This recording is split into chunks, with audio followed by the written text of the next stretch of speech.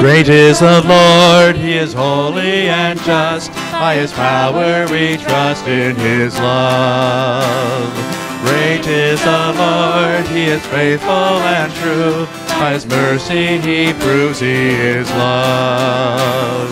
Great is the Lord and worthy of glory. Great is the Lord and worthy of praise. Great is the Lord, now lift up your voice. Lift up your voice. Great is the Lord.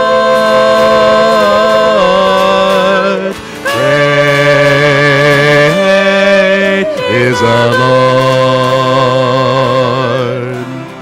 Great is the Lord, He is holy and just. By His power we trust in His love. Great is the Lord, He is faithful and true. By His mercy He proves his love.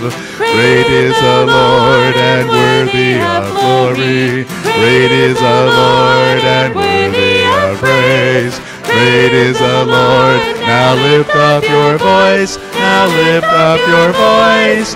Great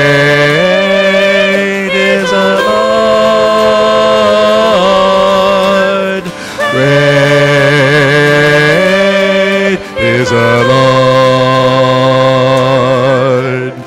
Great are you, Lord, and worthy of glory. Great are you, Lord, and worthy of praise. Great are you, Lord. I lift up my voice. I lift up my voice. Great are you, Lord.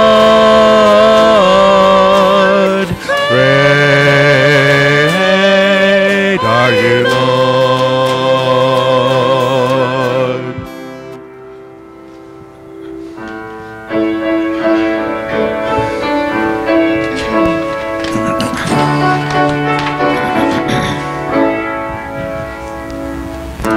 Letting go of every single dream. I lay each down, down at your feet.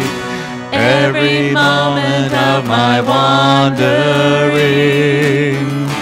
never changes what you see. I try to win this war, I confess. My hands are weary, I need your rest. Mighty warrior, king of the fight. No matter what I face, you're by my side. When you don't move the mountains, I'm needing you to move. When you don't part the waters, I wish I could walk through. When you don't give the answers, as I cry out to you, I will trust, I will trust, I will trust in you.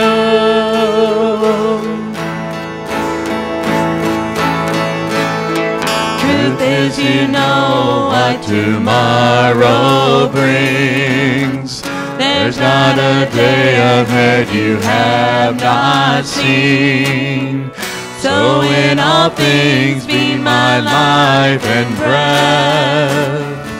I want what you want, Lord, and nothing less. When you don't move the mountains, I'm needing you to move. When you don't part the waters, I wish I could walk through. When you don't give the answers, as I cry out to you, I will trust, I will trust, I will trust in you. I will trust in you.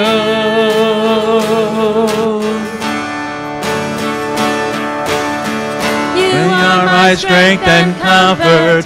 You are my steady hand. You are my firm foundation, the rock on which I stand. Your ways are always higher. Your plans are always good. There's not a place where I'll go. You're not already stood. you don't move the mountains, I'm needing you to move. When you don't part the waters, I wish I could walk through. When you don't give the answers, as I cry out to you.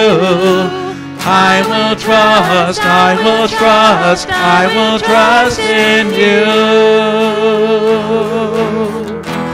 I will trust in you. I will trust in you. I will trust in you.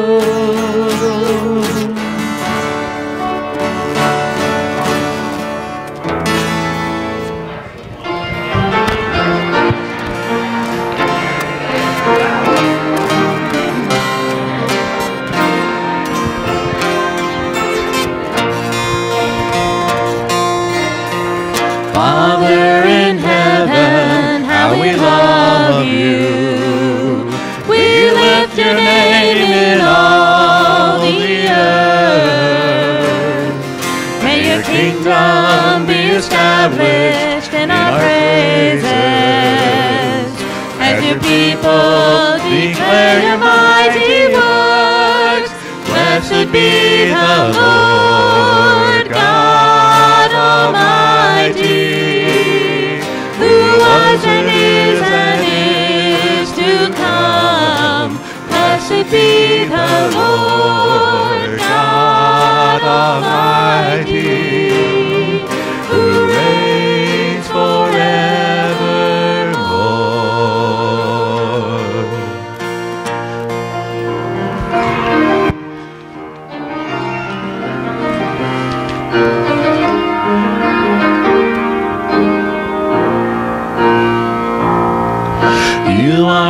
so good to me. You heal my broken heart. You are my Father in heaven. You are so good to me. You heal my broken heart. You are my Father in heaven. You are beautiful, my sweet, sweet song. You are beautiful, my sweet, sweet song. You are beautiful, my sweet, sweet song. I will sing again.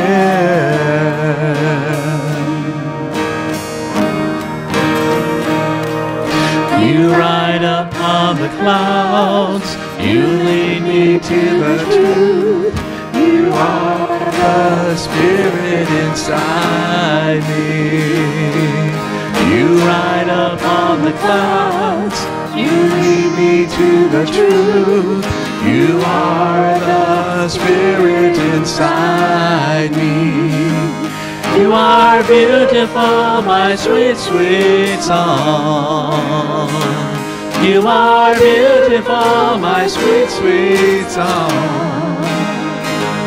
You are beautiful, my sweet, sweet song. I will sing again.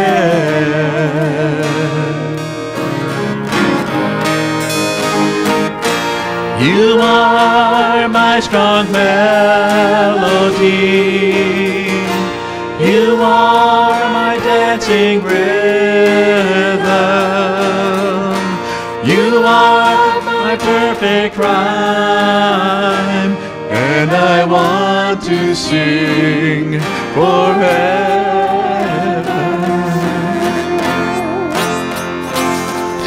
You poured out all your blood. You died upon the cross.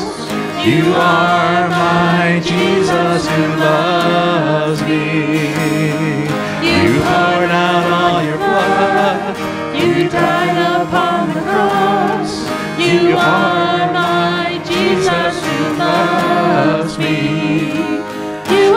beautiful, my sweet, sweet song.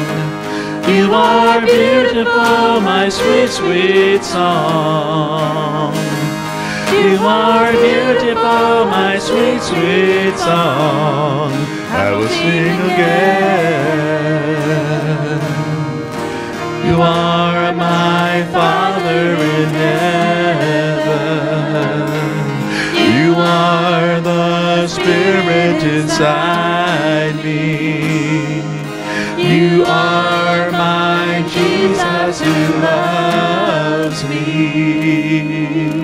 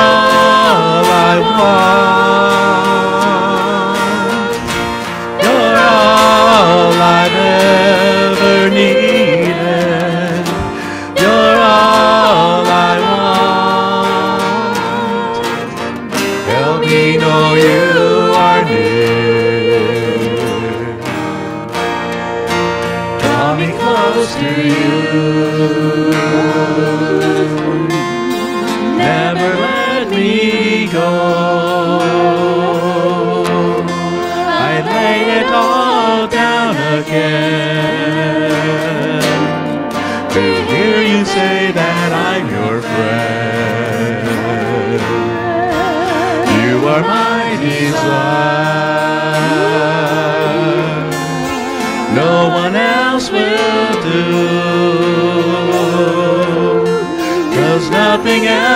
take your place.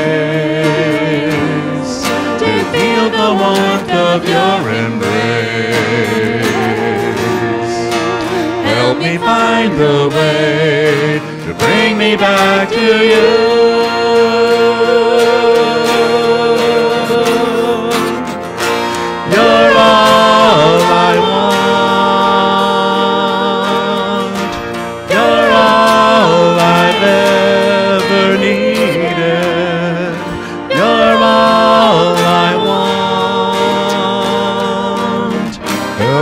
Know you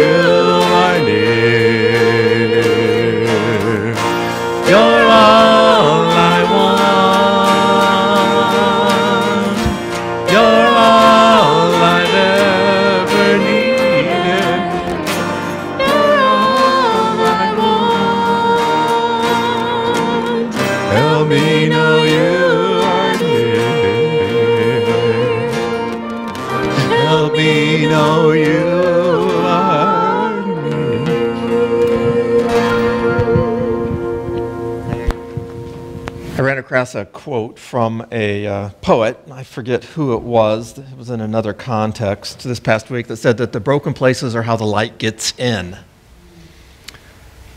The broken places in our lives are often what bring us to the Lord. They, they make us aware of our needs.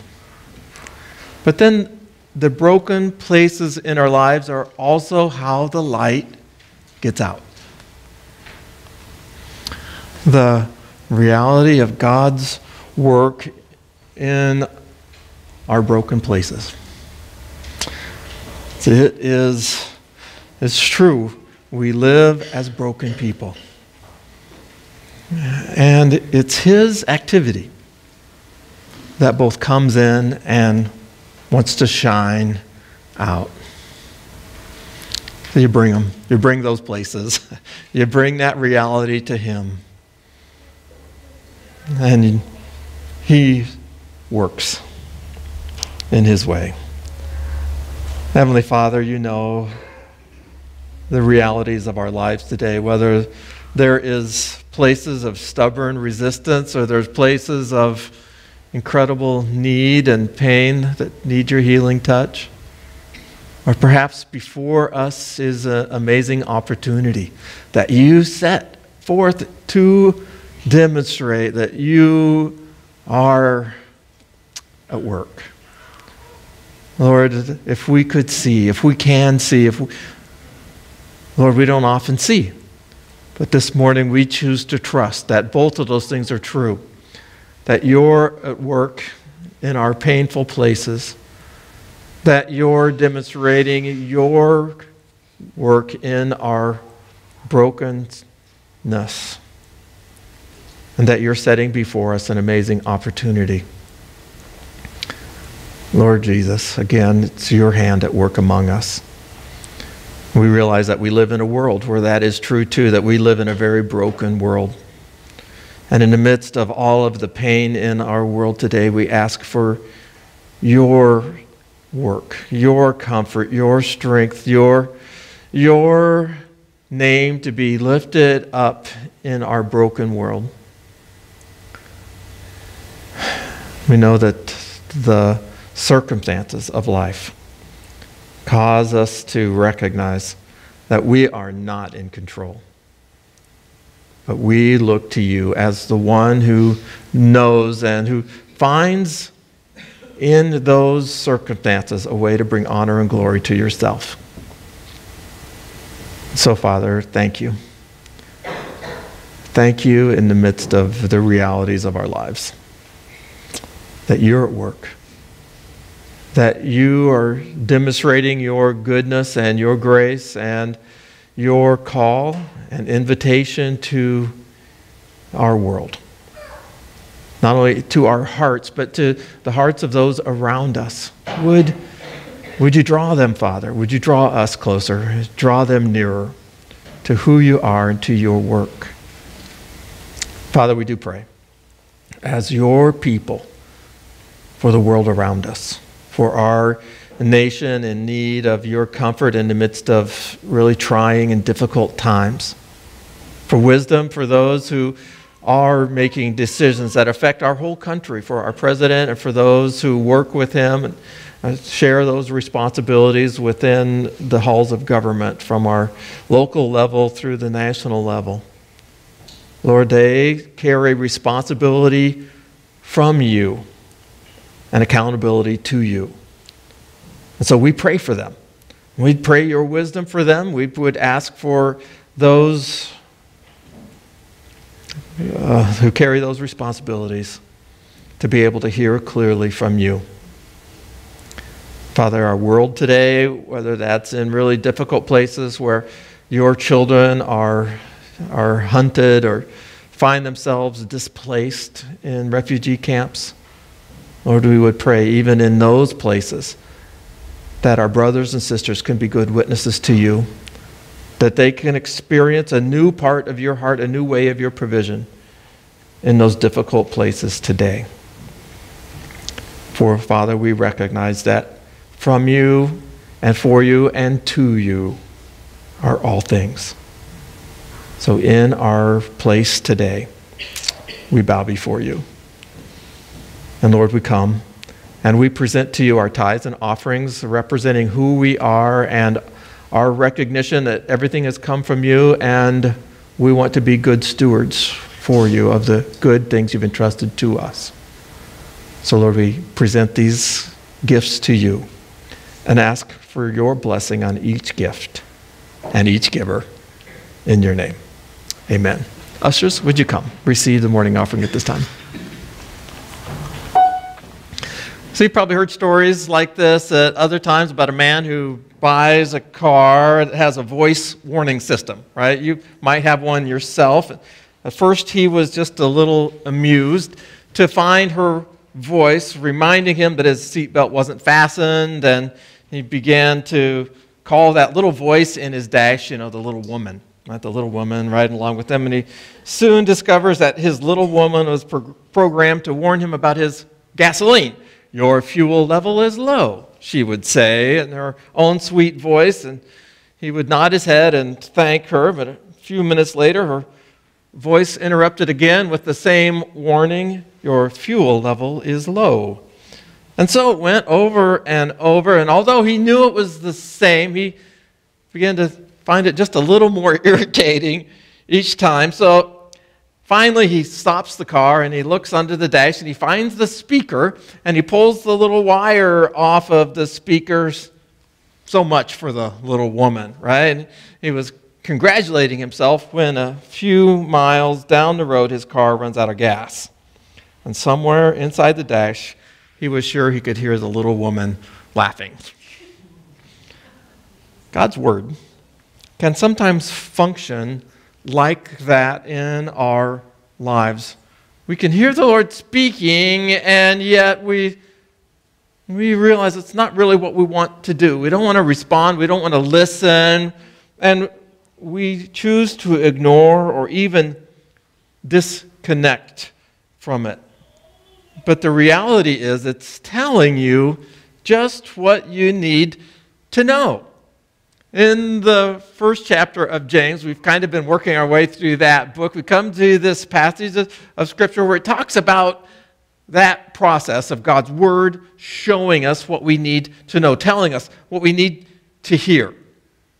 To kind of our work our way up to that, the, the verse right before the passage we're going to focus on says this that God chose to give us birth through the word of truth, that we might be kind of our first fruits of all that He created. And this verse is talking about God speaking and his description and, and a message that we've received from him that's called the word of truth.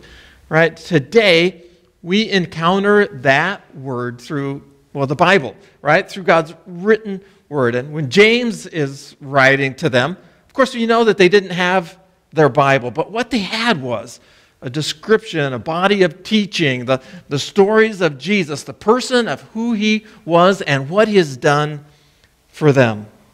And James is writing to a group of people much like us who have come to that place where they embrace who Jesus was, but the challenge of responding to his work in their daily lives continued, right? The challenge of facing the reality of what their life is like, who they're like, and responding to the continuing Word of God to allow it to do its continuing work.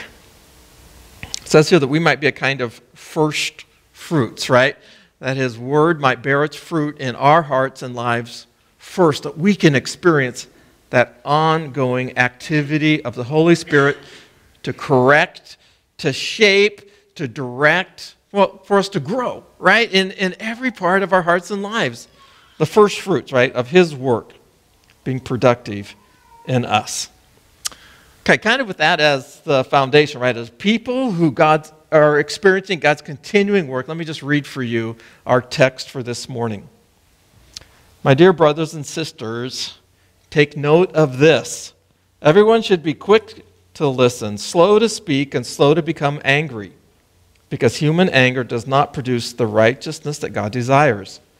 Therefore, get rid of all moral filth and the evil that is so prevalent and humbly accept the word planted in you, which can save you. Do not merely listen to the words and so deceive yourselves. Do what it says. Anyone who listens to the word and doesn't do what it says is like someone who looks at his face in a mirror and after looking at himself goes away and immediately forgets what he looks like. But whoever looks intently into the perfect law that gives freedom and continues in it, not forgetting what they have heard, but doing it, they will be blessed in what they do. And those who consider themselves righteous and yet do not keep a tight rein on their tongues deceive themselves, and their religion is worthless. Religion that God our Father accepts as pure and faultless is this to look after the orphans and widows in their distress and to keep oneself from being polluted by the world. Hmm. So James goes on to say that that word implanted in you has an ongoing purpose for you, a purpose that invites you to get engaged with God's continuing work and its impact that he intends for each one of us. It's the way God uses His Word to help us see ourselves and enables us to go. So, two simple parts, right? Two simple parts that won't be new to most of you are simply this that God expects us to be hearing and doing what He has for us. Simple to say, I know, but really describe the challenge of God's work in our hearts and lives from this day forward, from the time we first receive it as God's word for us to the challenges of living it out each day. First part of that, right? Hearing hearing God's word. How, how do you receive God's word? Does it penetrate in? Does it find those places in our hearts where there really is a, a new sense of God speaking to us? Really, this idea of hearing, right, is foundational. Listening is, is foundational to the relationships that we have in every sense of the word, right? It talks about this as everyone should be quick to listen, slow to speak, and slow to become angry. I'm sure you've heard maybe that in terms of your human relationships, how important it is to be twice the listener it is to be the speaker. But in this context, it's talking about your relationship to the Lord. It's saying, look, recognize first of all that what God has to say is to be first received for you. It's there for you.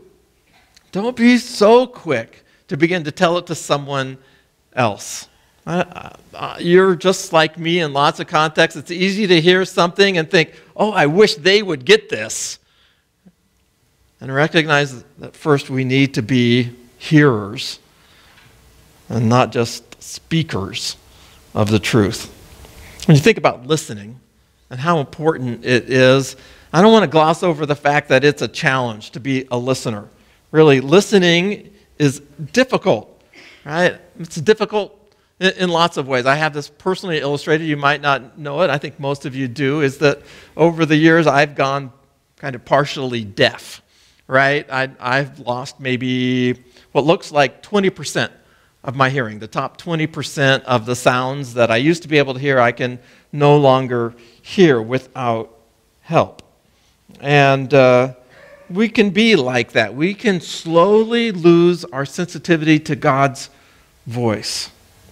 God's voice is meant to be taken personally, and you can hear it so often and you can hear it said so long that your mind just slips into these familiar tracks, right? Okay, I know what that says. And it just kind of sits down into kind of a little calloused place in our mind, and we don't really hear it for ourselves. We don't really engage with what God is saying. Listening can be difficult. It's interesting that he says we should be quick to listen and slow to speak. He doesn't say we should never speak. Right? He's not saying don't speak. He's saying make sure you're listening first. Listening can be difficult, right? And really, when you think about it, listening is very important. Jesus had given all these parables. And at the end of a parable, he will often say something like this Whoever has ears to hear, let them hear. Right? Jesus is saying, listen, listen carefully. Engage your minds. What I'm trying to tell you is important. Hear what I'm saying. In, in some ways, we could think about listening as an act of love in, in your relationships to other people, to listen to the person around you, to listen to the next person, that is often indistinguishable in their mind from being loved. Listening and loving are almost the exact same thing. In fact, you can't love someone else if you're not willing to at least listen to them.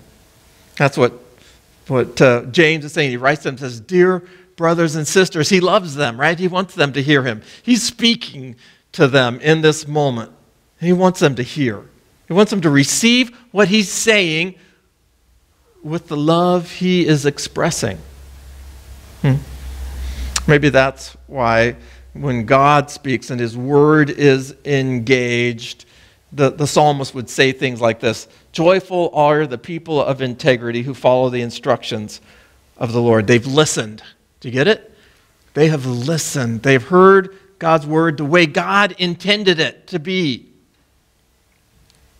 And they receive it as an act of, of love. Hmm. Listening is foundational to our relationship with God. Hearing His word, receiving it as God intends it. But listening is not only foundational to the relationship, but it requires kind of the same kind of commitment as any relationship does. It's, it's not just what we hear, but how we hear it. You remember the parable of the sowers, right? There were all these different kinds of ground, the same seed. The Word of God is sown into all these different kinds of soils, representing different kinds of hearts. But the foundation comes, right? The, the, the bottom line is the seed on good soil. It's only the seed on the good soil that bears its fruit. And that seed stands for those with a noble and good heart who hear, retain it, and by persevering produce a crop. And we forget the persevering part, right? The kind of commitment that it takes to respond in simple ways on a daily basis. It's not just one response, it is a heart of response. It's a commitment to respond. That's why Paul would be so thankful for the people in the church in Thessalonica. And he said this, and we also thank God continually because when you received the word of God, which you heard from us, you accepted it. They brought it in, not as a human word, but as it actually is the word of God, which is indeed at work in you who believe. That work is that word is at work, right?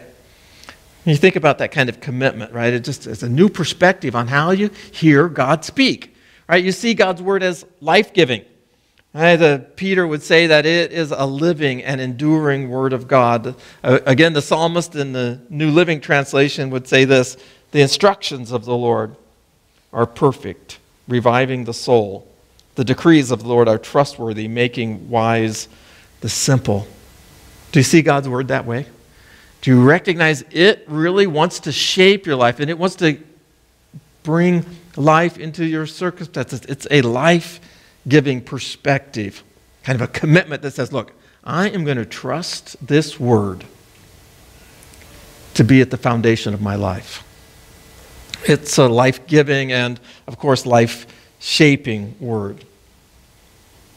Paul would write to one of his young ministers in training, describing kind of the activities of God's Word and how it's useful in all sorts of different ways. And he would say this all Scripture is God breathed and is useful for teaching, for rebuking, for correcting, and training in righteousness, so that the servant of God may be thoroughly equipped for every good work. My little story at the beginning talked about kind of God's word as a warning light, but it's not just a warning light, it's also, well, a, a, GPS map and a, a fitness monitor, right? It does all of those kind of functions to make things work the way God intends. Got to be eager to hear, to be equipped for every good work. I, I've been through those times where you read God's word and you tend to resent it. You begin to say, You're meddling in my life, right? I want things my own way. I want my circumstances to be shaped the way I envisioned them. All of those kind of things. And we can resent what God's word says. Or we can resist what it says when we know what it says, how it describes the life that God wants us to live, all those kind of things. It's not always pleasant to sit under God's word, to listen to what he says, to come to it again. Sometimes you can have it open in front of you, and the words can feel like, well, maybe sandpaper to your soul. But God's promise is that they are useful, that it's there to do that shaping work, and sometimes that is the key. It isn't always easy. It's not always enjoyable. It's not always pleasant, but it's always productive. That's the promise of God's Word. then there in James, it says this Therefore, since God's word is so important. We need to get rid of all of that moral filth and the evil that's so prevalent and humbly accept the word planted in you, which can save you. Humbly say, All right, I surrender. I know you know what's best for me. The, in the message version, it takes this verse and it uses these words to express it. It says, Throw out all spoiled virtue and cancerous evil in the garbage. Why? Why would we do that, right? Why, do we, why does he encourage us to do things? We go, oh, yeah, I know that. Because those things, those things that we know, that we can identify in our hearts already, until we deal with them, until we surrender them, confess those things that are sin, until we say yes to those things he's guiding us forward in, then his word stops speaking. It stops making the impact. It stops shaping our lives because we already know what we're supposed to do. Hmm. Other places take this very same kind of approach to God's word. 1 Peter chapter 2, verses 1 to 3. Therefore, rid yourselves of all malice and all deceit, hypocrisy, envy, and slander of every kind, like newborn babes. Crave pure spiritual milk so that by it you may grow up in your salvation, now that you have tasted that the Lord is good. Hmm. Do you see the connection between your desires and your willingness to respond and be shaped by God's word? That was the example, right? That's the good example of what this looks like. Paul, in his travels, was preaching in different cities across Asia Minor, and he comes to uh, the time in, in Greece and he encounters a group of people in the city of Berea, right? And reports what he found in that place. He says, Now the Berean Jews were of more noble character than those in Thessalonica, for they received the message with great eagerness and examined the scriptures every day to see if what Paul said was true. To see it, they were hearing, weren't they? They were listening. They, they were having their perspective on life shaped, and they were encountering Jesus because they gave Scripture and God's Word its rightful place. It's a great attitude to what God has said, toward eagerness, a willingness, right? To begin by facing the reality about ourselves, beginning with hearing God's Word. But certainly, that also involves a commitment to receive what He has given, right? Don't be just hearers of God's word, but be doers also, right? Second part is doing the will of God as we understand it, as He exposes it to us. That's that verse. Do not merely listen to the word and so deceive yourselves. Do what it says. Remember the Last Supper? Jesus gathers for his final meal, and as they're gathering up together, Jesus looks at them and has this huge moment where he demonstrates the kind of attitude they ought to have to each other. He takes off his outer clothes, he wraps a towel around him, and he goes around. He takes a basin of water and he washes all of his disciples' feet. He takes this role of a servant and he teaches them. He says, Hey, look, no servant is greater than our master. I have done this for you. You ought to do it for each other.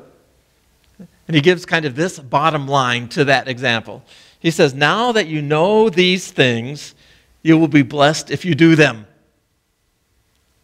To get it, it is putting them into action finally, where that work of God is complete in us, where we fill up what God's Spirit has begun and it becomes expressed in our, in our actions.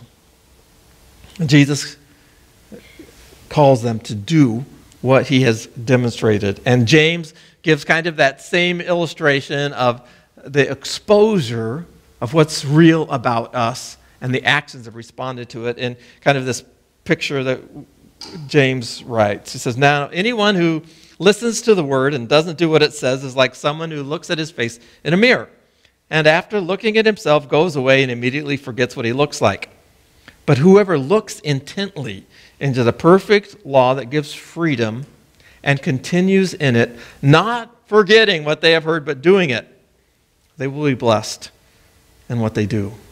So there is a practical response to God's word and to his will. It's not always do or don't do. Sometimes it is see God in a new light, a new insight into his character. Sometimes it's a new passion that he births that sets your direction of life slowly shifting. It's a practical response to God's truth. Remember that a mirror is not a comb or a washcloth, right? The mirror is there to show you how to use the comb and the washcloth. We've mentioned those kind of ways in which we often experience God's word, right? Whether that's conviction that brings us to confession and repentance, or a, a new, a, a new t- way of discipline and submission to God's will, or a new activity that becomes a priority for us.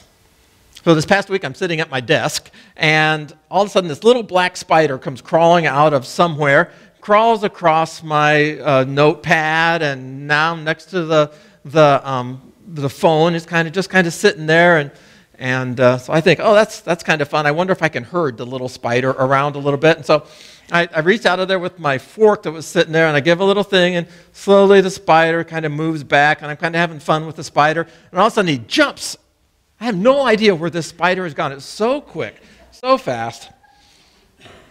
I, I missed my chance with that spider.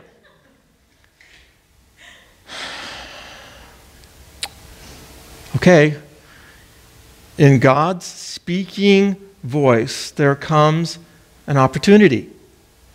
And we don't always know when that opportunity is going to end and when it will have be an opportunity missed really unresponsiveness can be more damaging than we know. And obedience can be more healthy than we realize. Because you and I in the moment don't really aren't capable. We we are not seeing the whole picture, but responsiveness or unresponsiveness is a very serious issue before God's word to do God's will, to make a practical response. Jesus, Jesus ta- comes to this often in his stories. And n- nowhere is it uh, greater than the story of the man that built his house on the sand and the man that built his house on the rock. Remember that? The storms come and the waves lash and the wind blows. And Jesus says, Everyone who hears these words of mine and puts them into practice is like the wise man who built his house on a rock. It's the practicing that brings stability. It's the responsiveness that enables us to survive those times. It is the practical application of what God is seeking to do. And James gives the two really practical applications right in this context, right? He says that it's even reflected in how we speak to one another. He says, Those who consider themselves religious and do not keep a tight rein on their tongues deceive themselves, and their religion is worthless. If it doesn't, if it doesn't affect a controlling part of how you speak to other people, then something's wrong in the process of God's work in your heart if it's not affecting what comes out of your mouth. We'll, return in the story of James, in the letter of James, to how we talk later on. He, he goes into great depth about how important it is, what it says about us, what comes out of our mouth, comes from our hearts. And it becomes for us a gauge, a gauge of how responsive we are. It's not just reflected in how we talk, it's expressed in our care for the helpless people around us, right? James says religion that God our Father accepts as pure and faultless is this to look after orphans and widows in their distress. It's a practical kind of application. And yes, he comes back to how we treat other people. It's an incredible, important part of our responsiveness to God. Expands it in just the next chapter as he talks about favoring the rich and kind of looking over the poor. Doing God's will involves a practical response. But it's not just about a response, right? It's about a persevering challenge. It's about taking that response and taking steps that say yes to the Lord in a daily kinds of ways. He uses those kind of phrases and continues in it, doing it, and it's that which makes God's blessing realized in our hearts and lives. Don't give up. Okay. That's why we gather together on these weekly basis to encourage one another to say, hang in there. Right? And in this context, in James's context, it is this commitment to God's purifying work. He says, keep yourself from being polluted by the world. We live in the world, but we don't base our life on the world's resources. We don't love the world or the things of this world.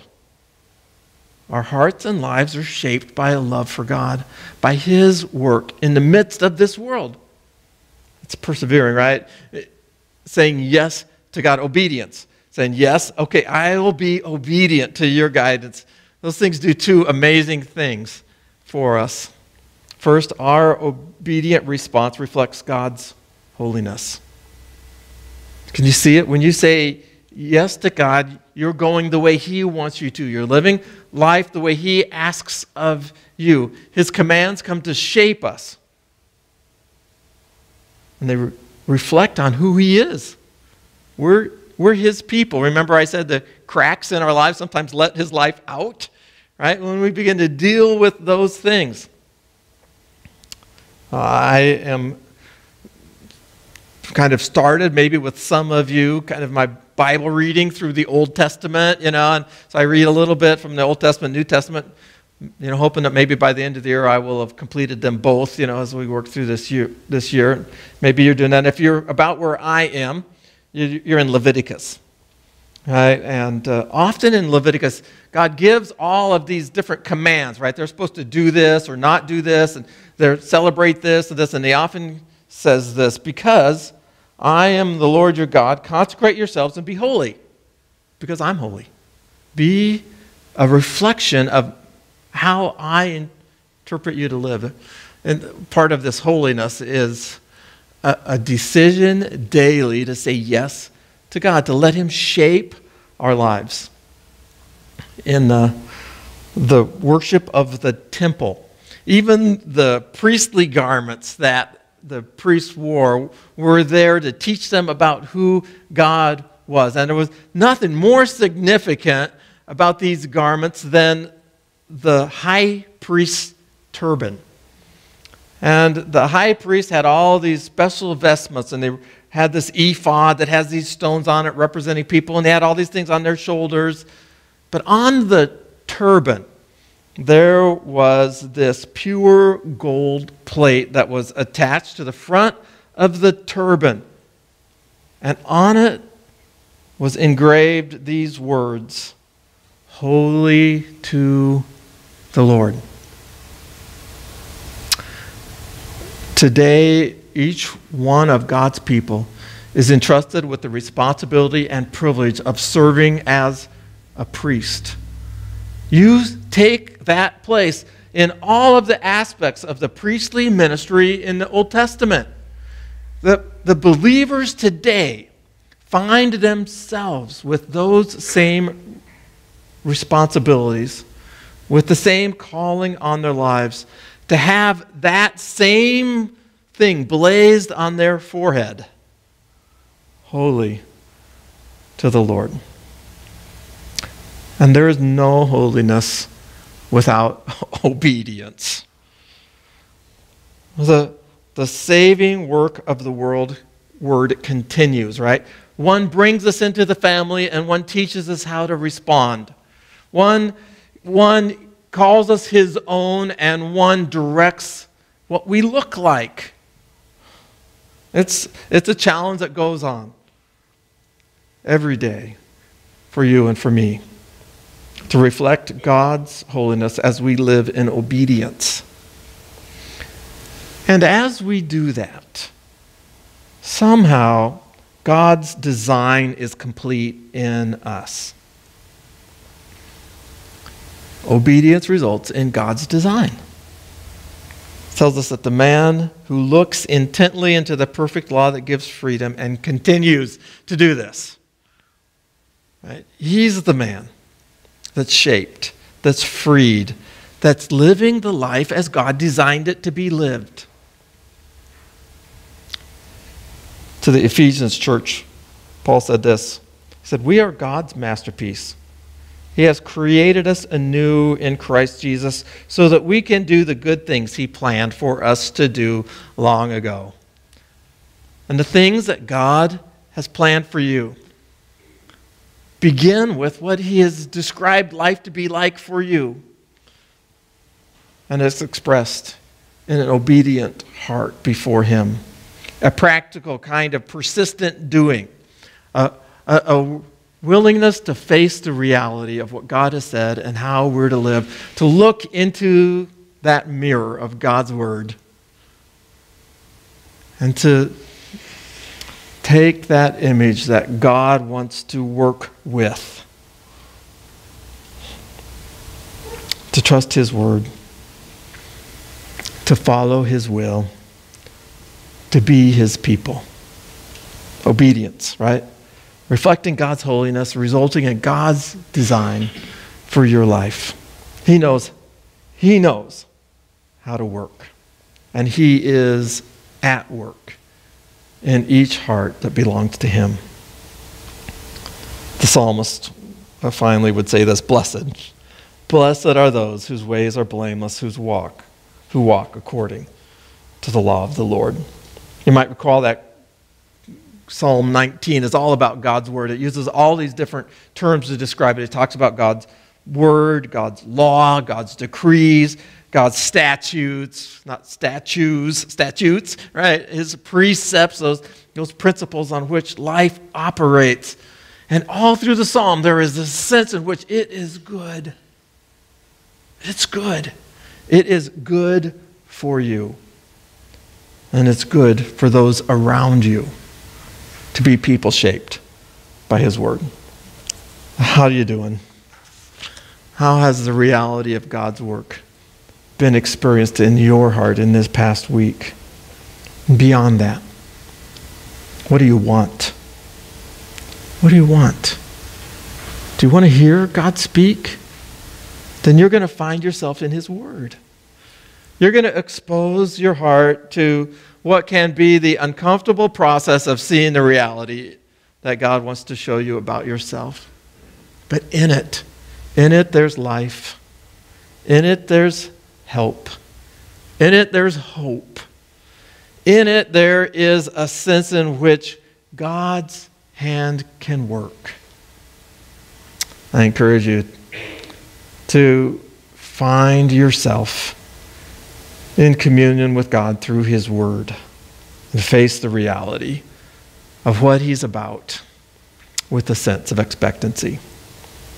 So, Heavenly Father, thank you. Thank you for your faithfulness, for your invitation to come and encounter your work in new ways. You are a good and awesome God, and your plan and your work is good.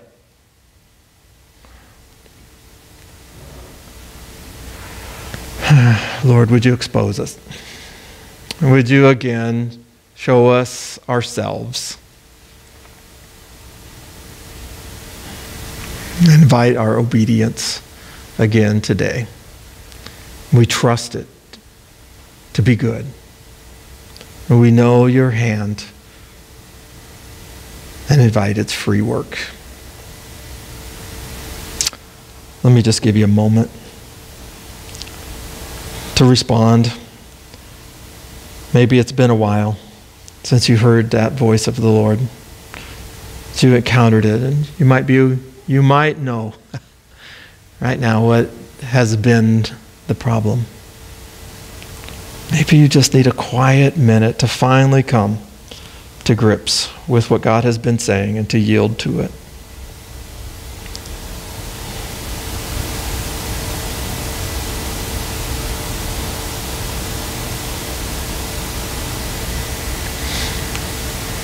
maybe you're ready to take the next step to say, Yes, Lord, I will.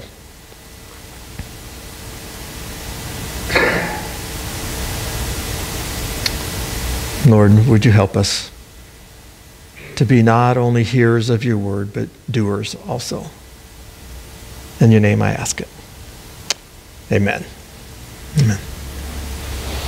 Again, in your pew racks are those information cards. If there's a way I can be an encouragement to you, if you would love to just spend some time talking about God's voice and what He's been saying to you, you could take a a card, an information card, and just note your name and a way to get a hold of you and hand it to me as we're dismissed. And I'd love to spend up a time to, together just to look to the Lord and to face the realities that He's about among us. Because it is to Him who is able to do immeasurably more than all we can ask or imagine. To Him that is at work within us be all glory be all glory in the church and in Christ Jesus throughout all generations, forever and ever. Amen. May you go in peace.